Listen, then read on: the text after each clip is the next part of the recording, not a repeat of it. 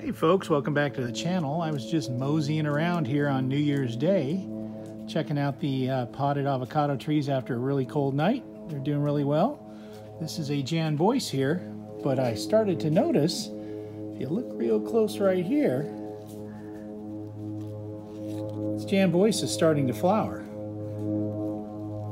About a week, I would say, that's been flowering. There's another one right next to it. Looks like it's coming in. This one hasn't set any fruit. Sorry for the airplane noise again. But this thing is pushing off a lot of new growth.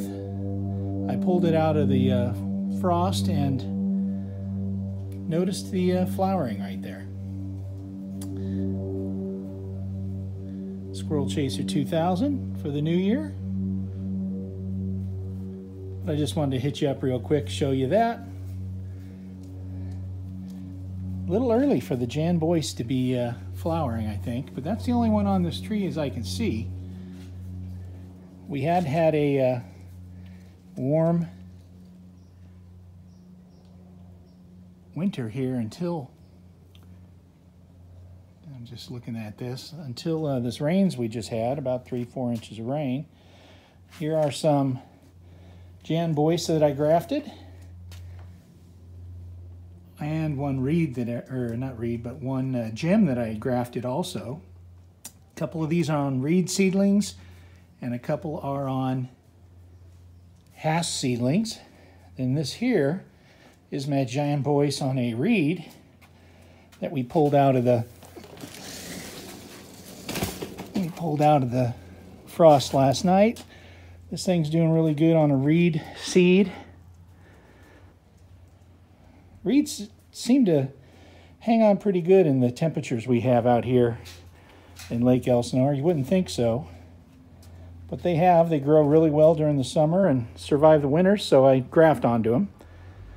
Don't know if that's right or wrong. If we're doing a little mini tour, there is a gem.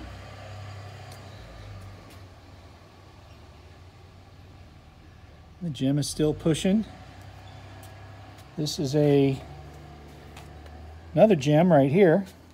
Very two different looking. This one here is a reed that is screaming to be transplanted. Another seedling. I keep this out, let it see what it can do through the summer, through the winter.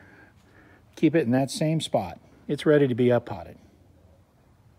This one here is the other Jan Boyce. In a container, pretty big tree doing really well. Lots of new growth coming out. No flowers on this Boyce, though, that I've seen yet. This one here is another one of my older seedlings. This one I'm just going to let grow out because it handles the summers and winters here really well.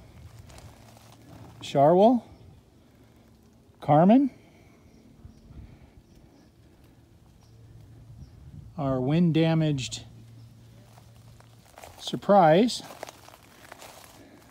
Some nice fruit on it.